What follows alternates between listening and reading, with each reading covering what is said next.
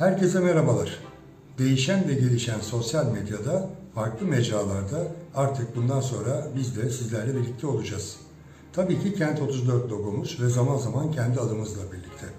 Bugün farklı bir çalışma yapalım dedik. İlk olarak yaşadığımız kent Kartal'dan başlıyoruz. Kartal'ın yakacağını uluslararası gazeteci sevgili Beyt Satıcı abimizden sizler için aldık. Onun anlatımıyla hep birlikte dinleyelim.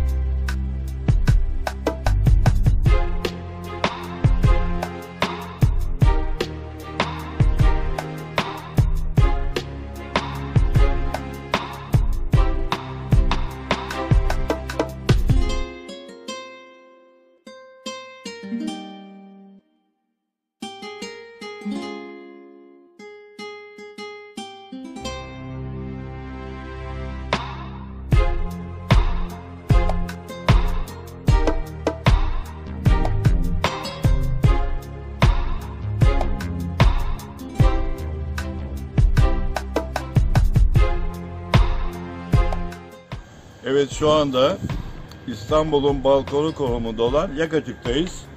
E ben e, bildiğiniz gibi Yakacık doğumluyum. Yakacık'ın şu anda yaşım itibariyle Yakacık'ın yani eski Yakacık'ın güzelliklerini, özelliklerini, çirkinliklerini e, tek bilen kişi olarak hayattayım. Şu anda Ayazma'ya geldik. Ayazma çok tarihi bir yer. Özellikle Ayazma'nın suyu, şeker suyu ve koru suyu çok meşhur olduğu gibi e, Yakacık, Ayazma ve Koru şeker suyu bunlar piknik alanlarıydı.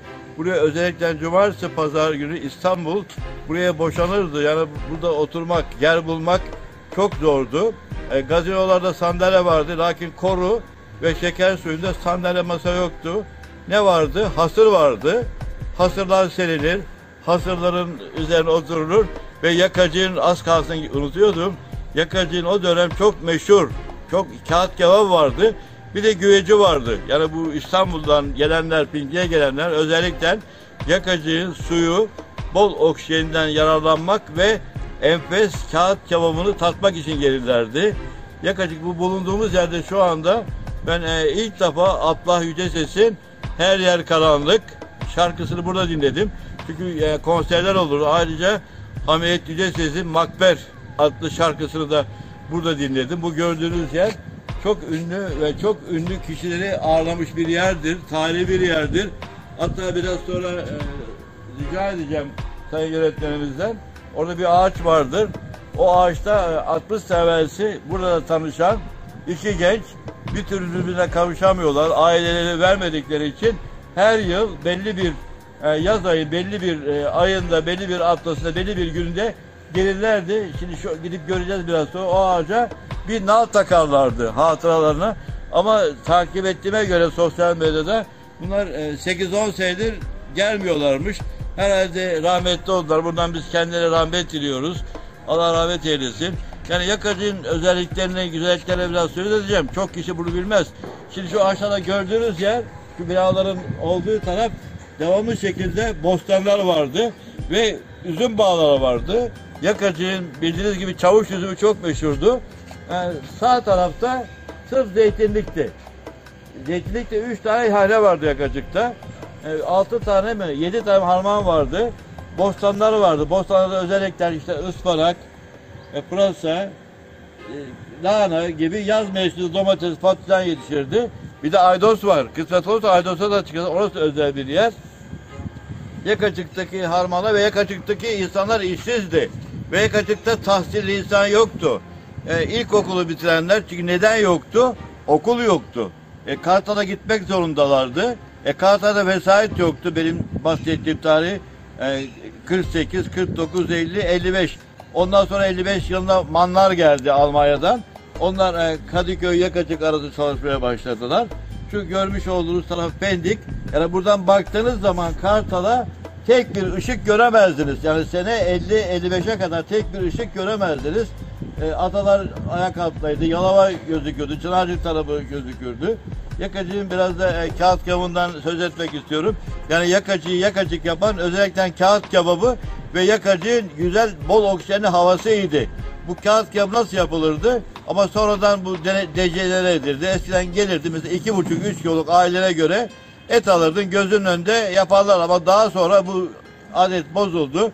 E, Cuma, Cuma gününe itibaren etleri kuşbaşı yapıp e, soğanda, baharatta, kimyonda, yeni barda, karabiberde yatırırlardı ve hazır olarak e, vatandaşa satarlar. Tabii da decene olmuştu. Göz, göz görecek. Göz görmediği zaman gönül katlanıyor. Yakacı bakın arkadaşlar şu yukarıda ayazma var. Ayazma suyu. O da buraya e, Rumlar e, belli bir ayda tortu mu derler. Oraya gelirler. O- Ortaya gelirlerdi. İşte burada ayin yapılırdı. Yu- Yukarıda gör- görmüş olduğumuz yerde. Tam şu aşağısı şu uzun binanın olduğu yer şu meydan korudu. Orada rahmetli Muhittin amca işletirdi. Yani benim sö- söylediklerim, anlattıklarım 50 50 55'ten sonra değil. Yani ya, hatırladım ki ben e, 40 doğumluyum, 80 yaşındayım. Yani 48 49'dan sonra hatırlıyorum. Muhittin amca işletirdi ve ufak ufak testiler vardı. O testilerine su doldururlardı ve hasır başında o, o, o suyu içerdik ve yakacı suları şifadı. Özellikle bu Ayazma çeşmesindeki suyu e, böbrek taşı ve kum döktüğü söyleniyor. Yakacın özelliklerine gelirse bakın kimsenin bilmediği gene bir olay anlatacağım. Yakacı affedersiniz her evde bir, iki, üç tane inek vardı. Bunu çok kişi bilmez. İnek vardı ve köyün sıtmacı da e, rahmetli Reşat amcadı. Şimdi Yakacık Çalkazlı meydanında ya bu barak hayvanlar toplanırlardı. Onu e, Aydos'a yay- yaylaya götürürdü. O tatbik akşamüstü aynı yere götürürdü. Hayvanlar evin yolunu bulurdu. Ve tekrar bir şey hatırlatacağım. Şimdi Vural Hocam da şaşıracak bunu duyunca. E, e, mesela bir genç evlenecek mi? Elbise yok. O zaman şayak elbise var. E, millet alamıyor. Parasızlık var. Sa- İkinci Dünya Savaşı'ndan yeni çıkmış. Benim anlattığım 48-49. Hatta ben 50 51 yılına kadar bunu gördüm. Caminin yani şu andaki Yakacık Merkez Camii'nin üstündeki e, kapı girişinde böyle bir takım elbise sallanırdı. Şayak. Öyle bir yapılmıştı ki yani uzun olana biraz paçalarını sıvarlardı. Şişman olana da uyardı. Zayıf olana da uyardı. Yani Yakacık çok fakirdi. Yakacık'ta iş sahası yoktu. Şimdi diyeceğiz Yakacık'ta iş sahası yoktu. E, Yakacık'ta nasıl geçinirdi? Yakacık nüfusu azdı. İş sahası olmadığı için Yakacık'ın gençleri e, yalı dediğimiz şu karşı aşağısı yalıdır. Biz bunu yalı diyebiliriz Yakacıklar. Buraya bele giderlerdi, çapaya giderlerdi, e, üzüm keserlerdi, bağ bahçe, bah- bahçede çalışırlardı. Ayrıyeten temin de belit ifade etmiş olduğum gibi üç tane yane vardı. Bu yanede çalışırlardı. E, bir tane değirmen vardı, un değirmeni. Orada çalışırlardı. Ve Yakacık'ta ne bileyim ben yani çok güzel tekrar gene bir anımı anlatacağım Yakacık'ta. Mesela şimdi e, askere mi gidecek bir genç tellal gelip bağırırdı. İşte e, kendimden e, örnek vereceğim. Besimoğlu Besi, Besimoğlu Fethi. Askerlik dönemin gelmiştir. En yakın zamanda Kartal askeri şubesine başvur diye e, duyuru yapardı. Bir de Ramazanlarda davul çalardı. Bu Reşat amca çok marifetli bir kişiydi. Hem affedersiniz köyün hayvanlarını yani sırtmaçlığını yapardı.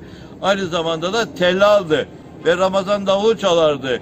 Ne uyursun ne uyursun bu uykuda ne bulursun al abdesti kıl namazı cennet alayı bulursun. Hala bu sesi rahmetli benim kulaklarımda çınlar. Tekrar söylerdi. Şöyle anlatırdı bu Ramazan şeylerinde. Yeni cami direk ister benim karnım toktur ama arkadaşım acıkmıştır canı börek ister diye bağırırdı. Ve hani sabahlara kadar yani yakacak Rumlar, Ermeniler, Museviler yani gayrimüslim insanlar gelirdi ve temin de belirttiğim gibi nasıl geçinirler derdik. Bunlar 3 aylığına veya iki buçuk aylığına evlerini pansiyon olarak kira verirlerdi. Mesela o zaman Yakacık'ta tek bir katlı e, taş bina yoktu. Yani hep ahşap evlerdi. İlk evi e, yanlış hatırlamıyorsam 50-51-2 senesinde Fikret Akgün yani Debreliler diye bunlar çok meşhur bir ailedir. O benim e, evimizin Çalkanlı mahallesinde inşa etti. İlk iki katlı. Ondan sonra tabii güzel modern evlere inşa etmeye başladı. dikkat ederseniz yakacık son yıllarda her yer olduğu gibi betonlaştı.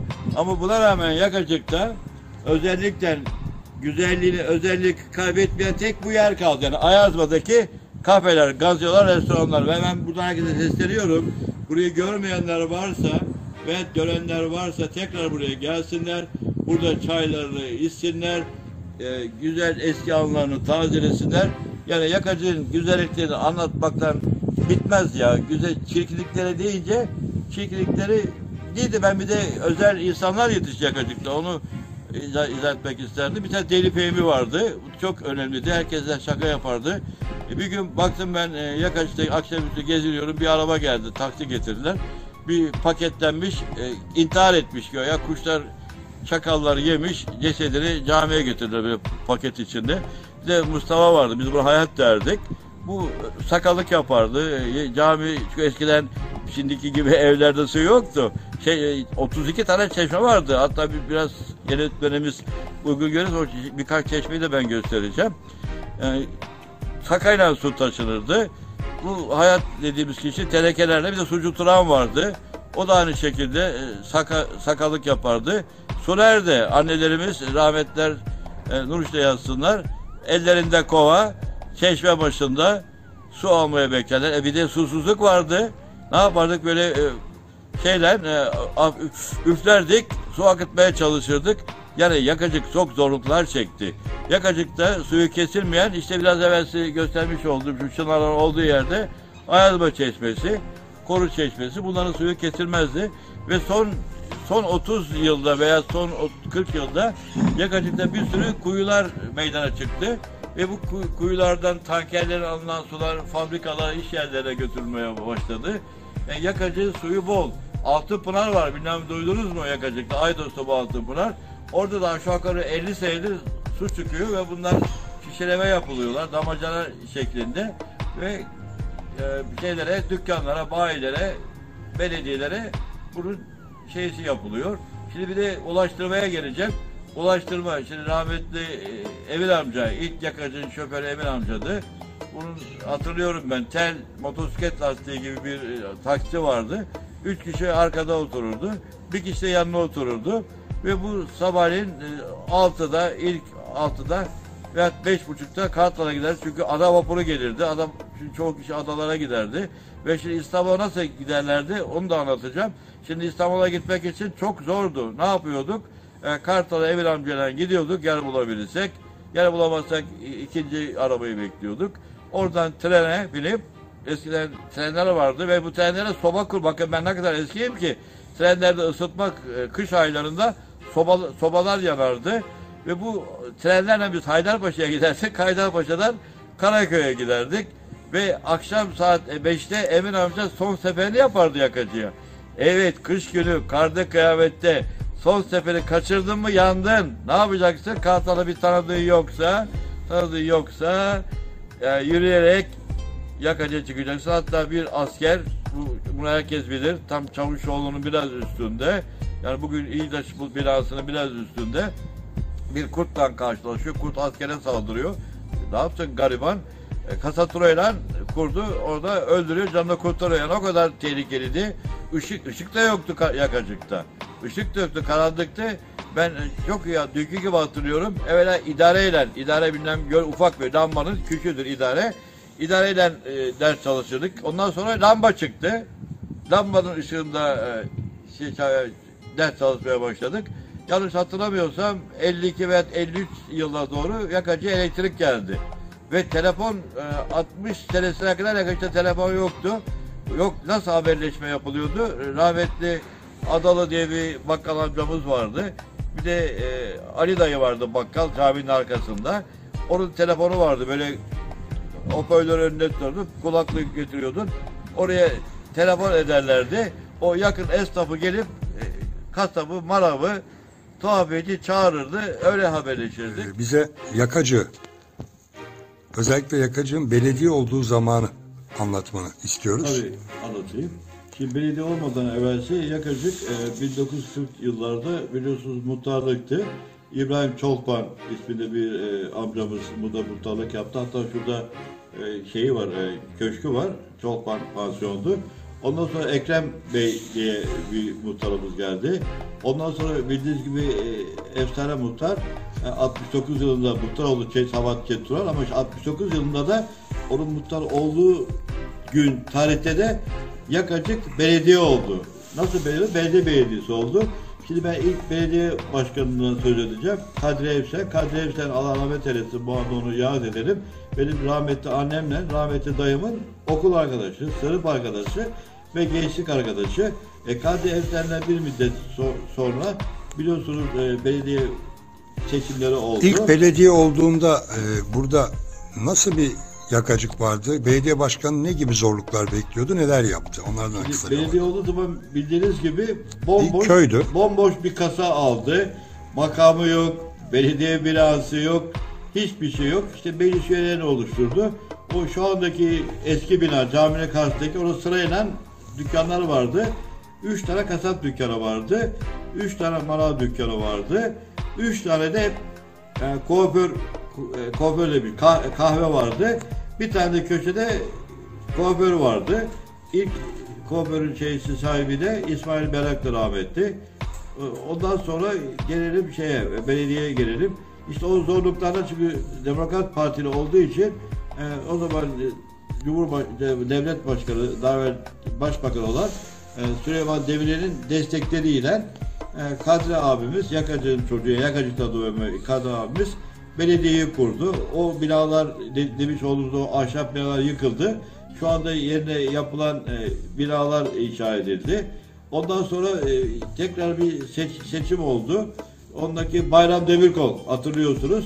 Bayram Demirkol hatta parkı da vardır medalın orada. Bayram Demirkol e, eski bir üstünlükten e, belediye başkanı seçildi. Seçildi ama pek uzun sürmedi. Neden uzun sürmedi? 1980 ihtilalinde e, belediyeler e, lav oldu bildiğiniz gibi. Bu belediye belediyeleri lav oldu. Belediye belediyeleri Maltepe Belediyesi, Küçükyalı Belediyesi, Soğanlık Belediyesi, Doloyama Belediyesi bundan tarihe karıştı. O zaman e, bir emekli albay, benim de çok yakın dostumdu. Yaşıyorsa Allah selamet versin, Allah rahmet eylesin. Necdet Ertürk adında bir kıdemli albay buranın e, belediye başkanı seçildi bir müddet. O da öyle idare edildi. Ondan sonra bildiğiniz gibi e, Kartal'a bağlandı.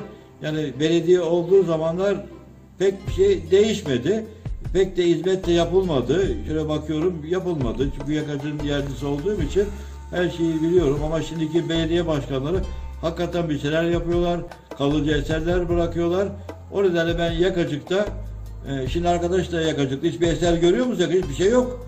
Hiçbir eser bırakmadılar. Yani üç tane belediye başkanı geldi. Ama bütçeleri de yoktu dediniz. Benim Bütçeleri de yoktu doğru düzgün herhalde o zaman. anlayamadım. Bütçe sahibi değillerdi o zaman. Ama ik- iktidarın, başbakanın en yakınıydı. Yani devamlı Peki, şekilde Ankara'ya peki gidiyor. 80'li yılların e, öncesi yani 70'lerin sonları Türkiye'de anarşi, terör olayları, sağ sol çatışması var. Yakacık'ta e, ücra bir yer. Kartal'da da çok ciddi olaylar oluyor o dönem.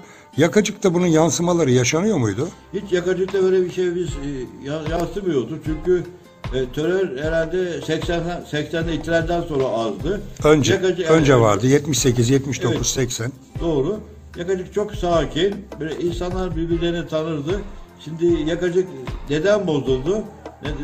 Göç aldı. Yakacık çok büyük göç aldı. Özellikle e, Siirtliler e, çok sayıda geldi.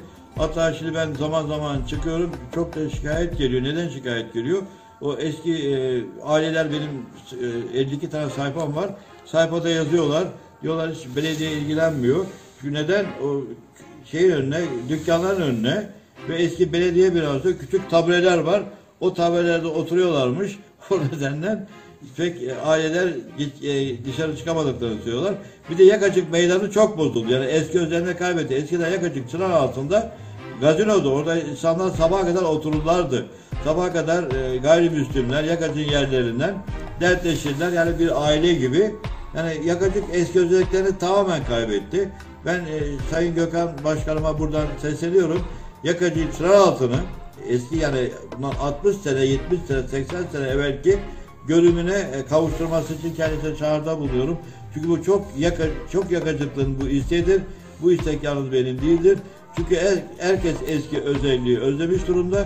Onun için o Çınaraltı gene eski gibi neşelensin. Eski gibi oraya masalar kurulsun.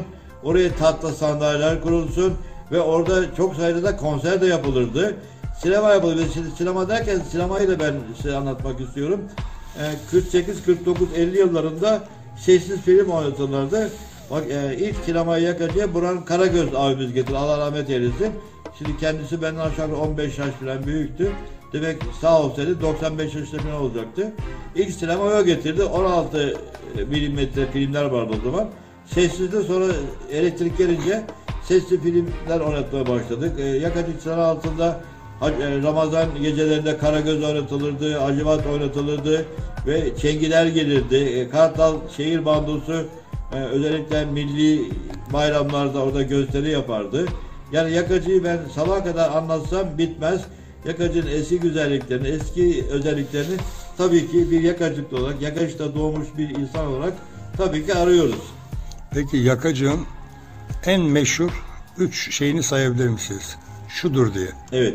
Yakacı'nın en meşhur evvela suyu gelirdi. Çünkü çok e, şifalı bir sudu. Sudan sonra meşhur bir su kağıt kabı gelirdi. Ve en meşhuru en meşhuru da Yakacı'nın çavuş üzümü çok meşhurdu.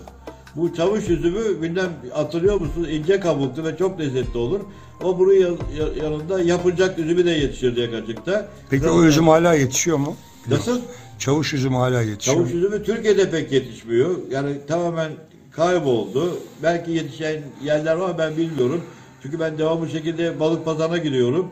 Oraya devamlı şekilde oraya gelirdi ve çok pahalıydı. 30-40 liraya kilosu satılan bir üzümdü. Ben son zamanlarda çavuş üzümünü her şeyin bulunduğu balık pazarına da görmeye başladım. Sonra müşküle üzümü yetişirdi yakacıkta. Müşküle. Topçu üzümü yetişirdi. E, topçu üzüm bilmem zeyni yetişirdi. Yani çok çeşitli üzümler yetişirdi yakacıkta. Ama tabii en meşhuru Tevin e, Vural hocamın da belirttiği üç meşhur şeyi evvela havası, suyu, oksijeni. Bol zaten niçin ya- yazlığa gelirlerdi? Suyu, oksijeni ve suyu e, havası için gelirlerdi. Ondan sonra kağıt kebabı çok meşhurdu. Bir de güveç var atlamayalım. Güveç o da meşhurdu. E, güveçten sonra da çavuş üzümüydü. Bu yakacık meydanını benim yaşımda olanlar hatırlarlar. Sırayla böyle e, küfelerden üzüm şey dizilirdi. Üzüm satarlardı, incir satarlardı. Domates, biber satarlardı. Domatesi de Aydoğan'da yetişen domates de çok lezzetli olurdu. Böylece yakacık eski özellikleri, eski güzellikleri betonlaşarak, yabanlaşarak maalesef kaybetti. Evet. Yakacığın hemen kuzeyde üst tarafı da Aydos. Aydos. Ee, ama Aydos'ta hala bakir bir doğa var. Değil mi? Yani Evet. biraz daha e, yerleşim dışı Şimdi- kalması için. Ayko, Aydos, e, yak, Yakacık Ovası dediğimiz şu yalı dediğimizden daha özel bir yerde. Orada da bostanlar vardı ve orada da iki tane su çıkardı. Biri altı pınardı, biri gümüş pınar suyuydu. Ve bu altın pınar suyu bakın aşağı yukarı 60 sene falan geçti veya 70 sene geçti. Hala bu su orada çıkıyor. Hala bu su pazarlanıyor. Çok tatlı bir su, çok şifalı bir su. Aynı zamanda Aydos'ta yetişen domates, e, taze fasulye, salatalık lezzeti bambaşkadı. Hala ya- yaz aylarında buraya gelin, e, poşetler bahçelere dalın, kendi dalından domatesleri koparıp alın evinize götürün. O zamanlar keçi de bolmuş galiba burada. Yok ki çok önemli bir konuya temas ettiniz. Şimdi keçi bol olduğu, bol olduğu gibi e, gene rahmetle anacağım. Mehmet Ali Kaya, Arif Kaya ve Rafet Aykut amcamızın ağılları vardı. Ve ben inanın ben burada keçi gülüyordum. Yani zevkler keçi gülüyordum. Affedersin köpeklere yal yapıyordum. Böyle yal demek kepek. Şimdi, şimdi- şimdikiler pek bilmiyor. Kepekten suyla karıştırıyordum ve Kazanda kaynatıyordunuz. kazanda kaynatıyorduk. Çoban köpekleri bu çok yiyordu. Ve yakacıkta kesi, bakın unutuyordum, atlıyordum. Yakacığın y- bir meşhuru daha var. Yoğurdu. Bunu at, atladım şimdi aklıma geldi. Çünkü o kadar çok özelliği, güzelliği ve güzel şeyler var ki insanın aklına birdenbire gelmiyor. En meşhur yoğurdu Aydos yoğurdu. Rahmetli Halit amca yapardı. Bu devreliler dediğimiz bunlar çok yakacın yani gelmiş geçmiş en önemli de, devre biliyorsunuz e, Bulgaristan'ın veya şeyin e, Yunanistan'ın bir ilçesi galiba değil mi? Debre. Bulgaristan olması lazım. Oradan gelmişlerdi ve bunlar Yani sonuçta Yakacı- Balkan göçmenleri var. Evet. Yakacı, Mübadil. Yakacı bunlar en önemli insanlarıydı. Hep yoğurthanede zamanda tereyağısı da çok meşhurdu. Bu yoğurthanede hatta o gelen Silivri bir usta, ismini hatırlamıyorum. Biz evimizin iki katlıydı Çalkatlı Mahallesi'nde. Evimizin alt katında bu ustaya vermiştik. Sil- Biliyorsun Silivri'nin yoğurdu çok meşhur olduğu için Silivri'den rahmetli Halit amca ve kardeşi İbrahim amca bu ustaya getirmişlerdi. Yani yakacığın evet, kağıt kebabı, havası, suyu, oksijeni, ve çavuş üzümün yanına yoğurdunu da katmış olduk böylece. Evet. Peki teşekkür ediyorum Fethi abi. Rica ederim. Ben de teşekkür ediyorum. Bana bu güzel imkanı tanıdınız. Eski notracı iade ettik. Yeni nesiller izlesinler. Daha çok anlatacak şeylerimiz var ama herhalde onları da başka sefere bırakalım. Kartal'ın farklı yerlerini, tarihini size anlattırmaya Yani devam edeceğiz. bir ara gidelim. Aydın. Bir de Yakacı bakın 32 tane tarihi çeşmesi var. Bunları atlamayalım. Bunlar çok önemli çeşmeler. Yani bunlar e, sultanların, padişahların inşa etmiş olduğu çeşmeler. Köşkler var. Mesela Taşköşk Otel var. Yıkıldı şu anda. E, mütevellilerin köşkü var. Şu anda enkaz halinde. Yani dediğim gibi Yakacı'nın özelliklerini, güzelliklerini sabah kadar anlatsam, Bitmez. anlatmaya çalışsam bitmez. Evet. Ee, son olarak bir anınızı anlatır mısınız? Yakacıkla ilgili aklınıza gelen en hoş, en duygusal, en komik e, bir anınız var mıdır? Abi çok anım var da ben anı, anı Böyle tebessüm- Za- tebessüm zaman ettirecek zaman bir an. paylaşıyorum şimdi ben e, 60 58 59'da güreşe başladım ve yakacın en yakışıklı en güzel böyle saçlarım omuzlarıma kadar gelirdi.